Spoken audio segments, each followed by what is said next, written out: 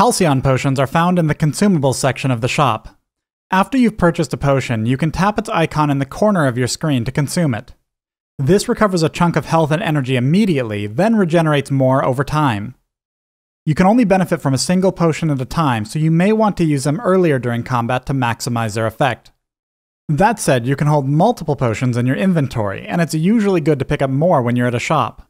Their gold cost is often offset by allowing you to stay in the jungle and lane longer before returning to base, allowing you more opportunities to earn gold.